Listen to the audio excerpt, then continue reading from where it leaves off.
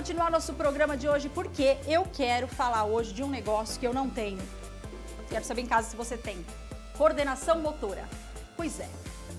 Não tem equilíbrio, vivo caindo, tropeçando no próprio pé, trocando as mãos, enfim, me batendo nos cantos, tal. Será que isso é falta de coordenação motora? Mas e aquelas pessoas que precisam da coordenação motora para trabalhar? Como é que faz? Vamos conversar com quem entende do assunto aqui, os meus dois amigos. Estou com o Júnior, que é malabarista e também professor, não é? E com o doutor Eduardo Silva, que é neurologista. Tudo bom, Júnior? Bem-vindo. Tudo bem, obrigado. Tudo, bom? Tudo bem, doutor? Bem-vindo, viu? Obrigado. Isso que eu falei agora aqui na abertura, que eu não tenho coordenação para nada. Tem gente que nasce com menos coordenação e gente que nasce com mais coordenação, ou isso é adquirido durante a vida?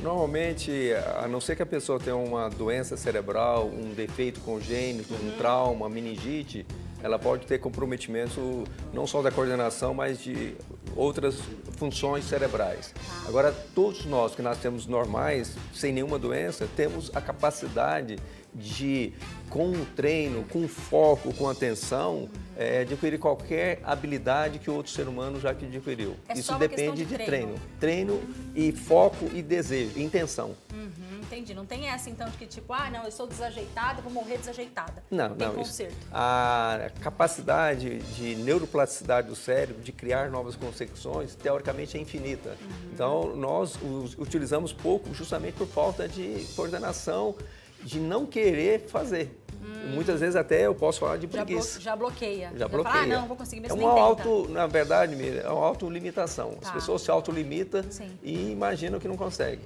Muito bem, então agora a gente tem que falar que a gente consegue fazer o que a gente quiser. Sabe por quê? Então quer dizer que se o Júnior consegue, eu também posso conseguir. É lógico. O Júnior, é gente. Mesmo você é professor de artes e ciências, é isso? Isso, isso. Sou professor de educação física, educação física. formação. Tá. E sou professor de arte circense por uma formação, uma escolha de vida, né? Uhum. É uma formação informal.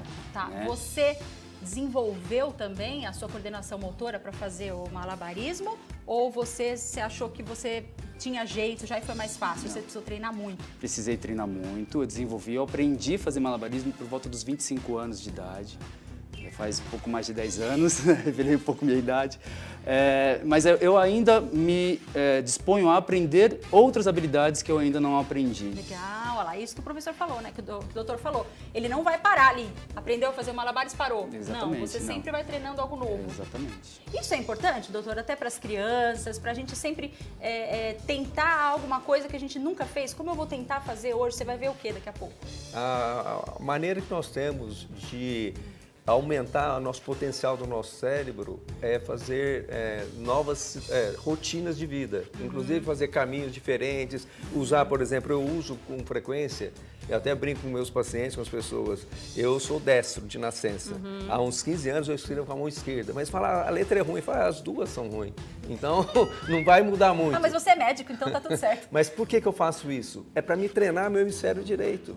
Então eu estou privilegiando o meu hemisfério direito porque eu sou muito racional. Tá. E a partir do momento que eu começo a escrever com a mão esquerda, eu estou estimulando o meu hemisfério direito para ficar mais criativo. Olha lá. Então é uma maneira de é, treinar e melhorar a nossa performance cerebral e a nossa performance de vida. Como você perguntou, as crianças elas devem ser estimuladas o tempo todo. Eu tenho uma filha de 9 anos, eu estimulo ela a escrever com a mão esquerda, ela comer com a mão esquerda, escovar os dentes com a mão mouse, esquerda. Mouse, o mouse é legal. A mouse, Nossa, atualmente eu só uso com a mão esquerda. Olha aí, então, doutor. isso aí é aprender então. a coordenar os dois hemisférios tá. e, e os dois membros os dois lados. Que a gente isso é pode fundamental. fazer isso. É só querer. Olha aí, que coisa legal. Você também é assim ou você tem mais jeito com um lado das mãos? Você sempre começa com a direita, você... Eu tenho mais destreza com a mão direita, né?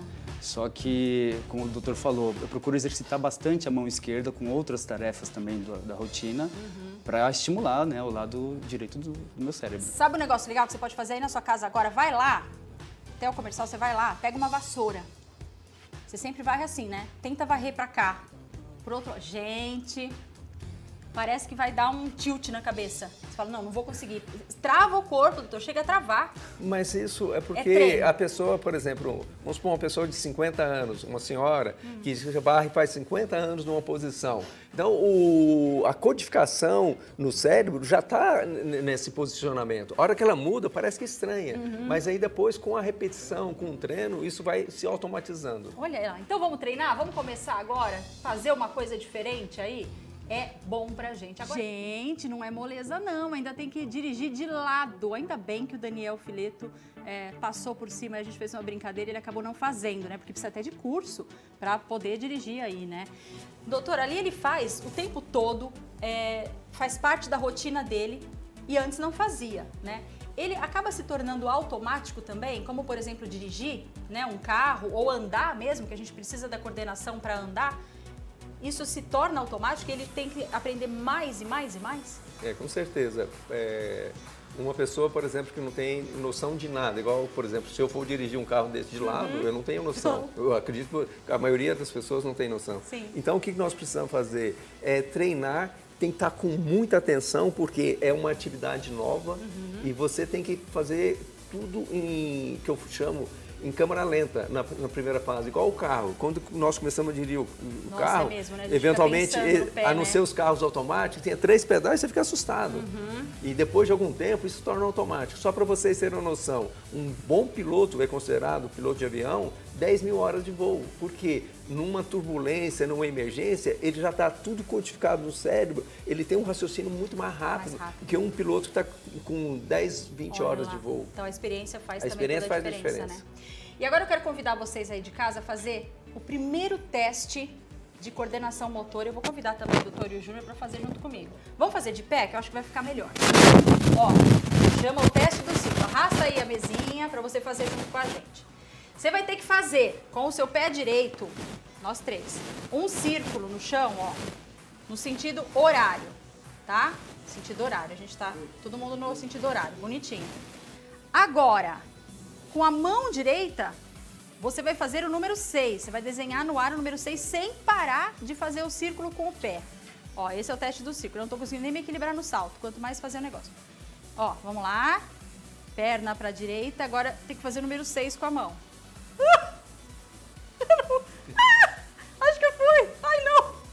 Minha perna para.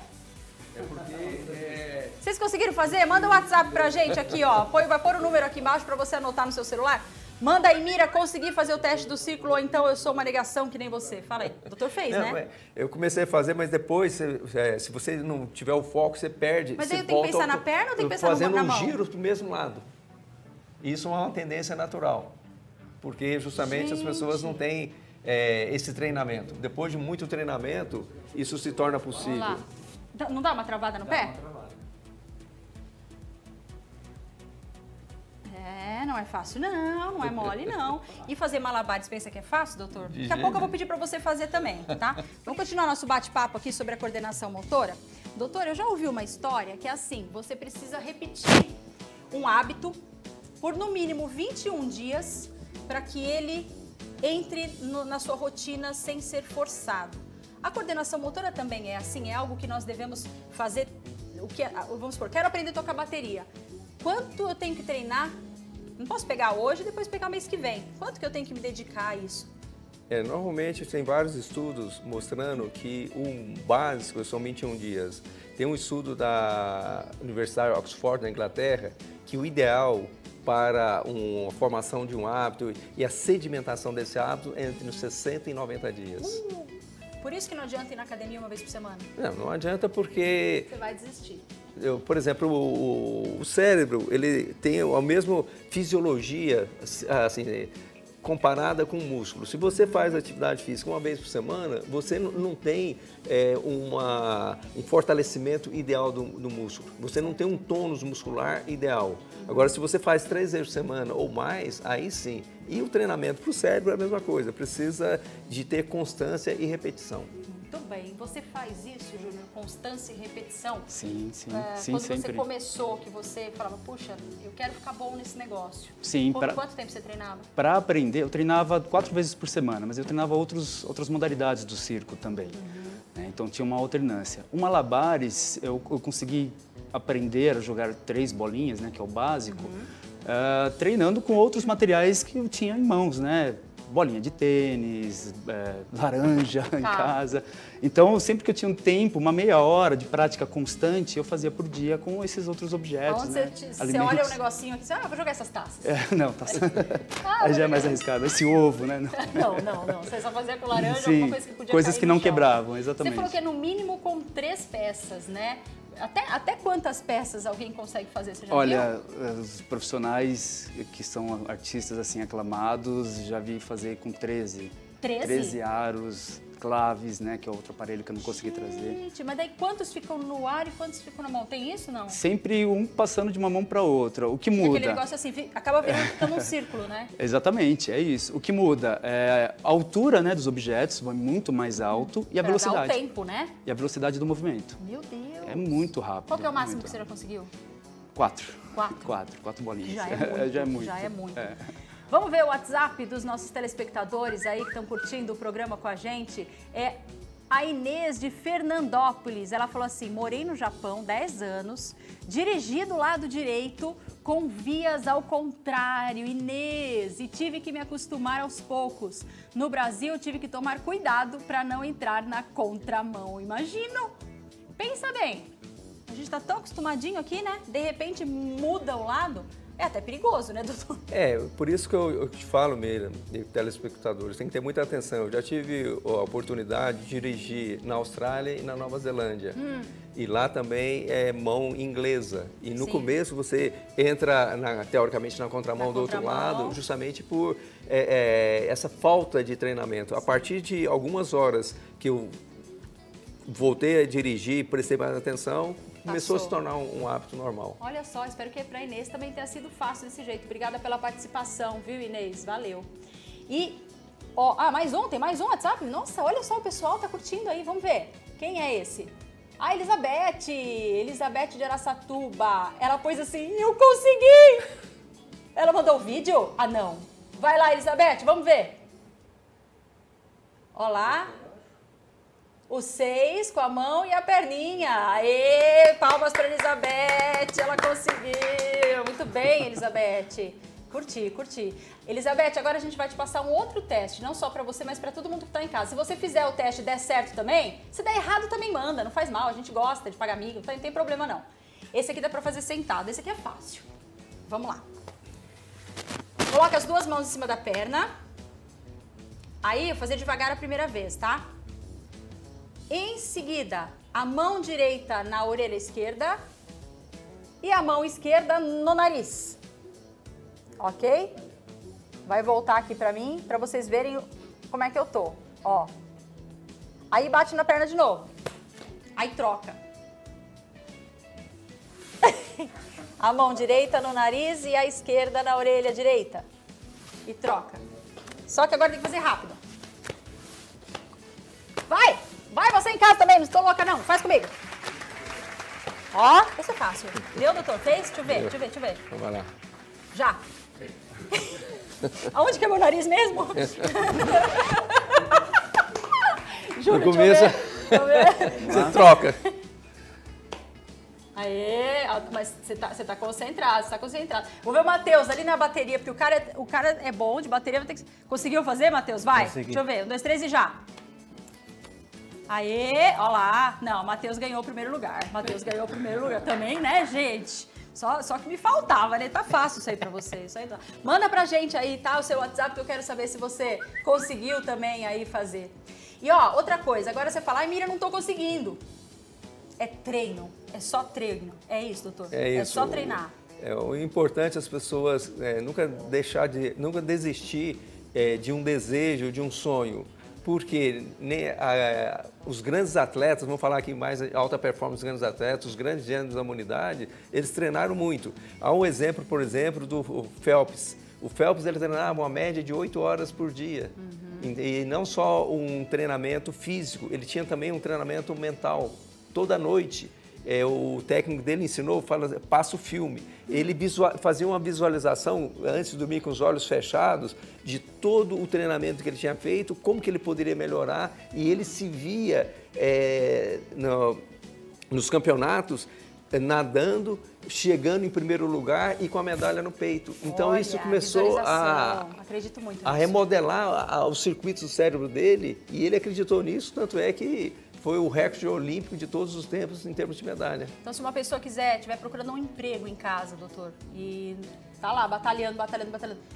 Todas as noites antes de dormir, se ele fechar os olhos, ele acredita, mas tem que acreditar de verdade, né? Não, visualizar, visualizar, sentir o cheiro desse novo lugar que você vai trabalhar, ver as pessoas que estão do seu lado, realmente com sentimento, eu acredito que ajuda. É, Isso sempre ajuda. A grande maioria das pessoas que consegue é, realizar os sonhos, eles realmente eles acreditam. Eles, né, eles não falam o esquema assim, eu primeiro vou ver para crer. Ele não, Eles creem e eles visualizam, utilizam todos os sentidos, como você é, mencionou, é, principalmente os olhos, a audição. Eles se veem, por exemplo, tocando uma música de preferência que eles querem, é, re- realizando aquele objetivo. Ele sente a parte física, a sensação, qual a sensação que ele está sentindo. Por exemplo, o Phelps sentia a sensação Água. do frescor da água. Olha que legal, né? Isso é muito importante. Puxa vida, então vamos fazer, vamos fazer com tudo que a gente quer alcançar. E vamos continuar conversando aqui sobre a coordenação motora.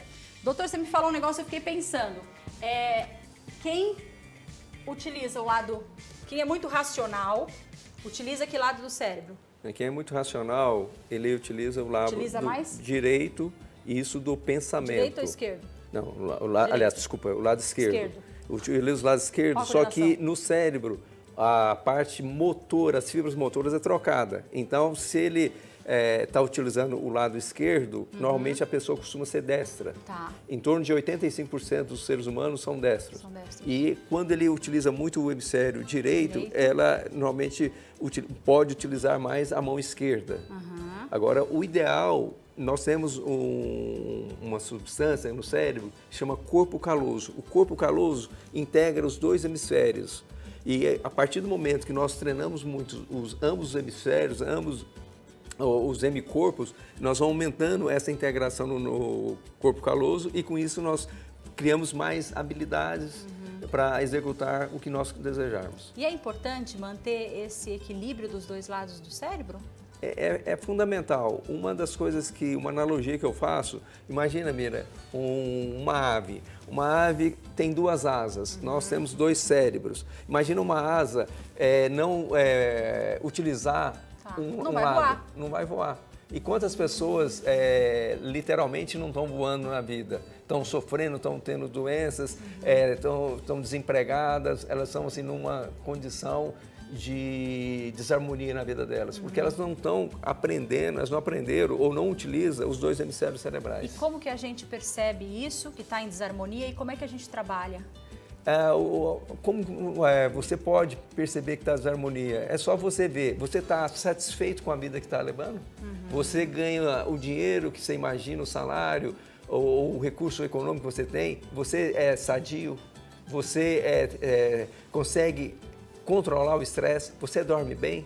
Então é, é só ver a- as atividades do dia a dia como você está. Se você está bem, está num patamar é, de alta performance, está ótimo. Agora, se você está doente, se você não tem, está quebrado, não tem dinheiro, se você não consegue dormir, se você é estressado, então você está fora do equilíbrio. E que coisas simples que eu posso fazer dentro de casa para aumentar essa coordenação e equilibrar os dois lados? É fazer aquilo que a gente falou, varrer do lado é, contrário, o mouse, andar para trás, é isso? É, é justamente, é utilizar é, novas rotinas que você não utiliza. Por exemplo, a grande maioria dos, como eu falei, só escreve, escova os dentes com a mão direita, corta as mulheres no- na cozinha. Então começa, como você falou, usar o mouse é, contralateral ao domínio da pessoa, é, escovar com a mão esquerda, é, fazer novos caminhos. Isso Vai- deixa o cérebro mais ativo também, doutor? Pode É lógico prevenir que- até doenças, um Alzheimer da vida? Pode, pode se falar que é o remédio para que ele não venha? Não, não é, não é só o remédio. O remédio do Alzheimer da vida é justamente é, você é, não ter nascido com uma condição genética predisposta e mesmo que eventualmente você nasça, se você é, tem uma boa condição física, saúde, saúde, se você faz atividade física, se você medita, tem um controle do estresse e principalmente uma alimentação saudável, mesmo as pessoas que têm uma predisposição genética, em vez de elas terem o início do Alzheimer aos 60, 65 anos, ela pode postergar, adiar para os 90, 95 anos. Ah, daí tá bom, né? Aí já tá bom, aí já deu, né? Vamos fazer mais um teste? Vamos. Vamos fazer mais um teste? Vamos, você de casa vai comigo? Ó, porque eu não quero ficar aqui sozinha fazendo isso, só com os dois, quero fazer com você também, ó. Esse eu não consigo. Esse eu não consigo. É o teste do dedo encostar o dedão nas pontas dos dedos com as duas mãos ao mesmo tempo. Tá, até aí beleza, né? Volta pra cá pra você ver, ó. Bem dormido, bem dormido. Dedinho. Aqui, aqui, aqui. Aí volta. Tá, beleza. Aqui a gente consegue, né, ó. E se eu falar que agora a gente tem que fazer? Para. Essa mão começa no dedinho e essa começa aqui. E agora? a gente continua. Ó, só que tem que ser rápido. Não consigo. Pegou? Ó, aqui. Deixa eu arrumar aqui meu rosto. Assim. Ó. Dedinho. Vai indo. Beleza. Agora para. Agora vai. Essa no dedinho e essa no, no, nesse aqui. Indicador. Olha, já errei. Não dá. Não dá. Você conseguiu, Matheus? Matheus conseguiu. Olha lá, gente. Faz, Matheus, deixa eu ver. E rapidinho ainda. Gente, Matheus é demais, menino. É, por causa da bateria. Tudo a gente põe a É, culpa na bateria. não, mas né? lógico, ele com o treinamento da bateria, ele tem uma coordenação muito boa é, motora. Uhum. Ele, ele tem a sensibilidade, e para ele é muito mais fácil do que uma pessoa, um pedreiro, Sim. pessoa que é serviço pesado. Que tem uma coordenação, tem uma coordenação mais fina. Mais fina, né?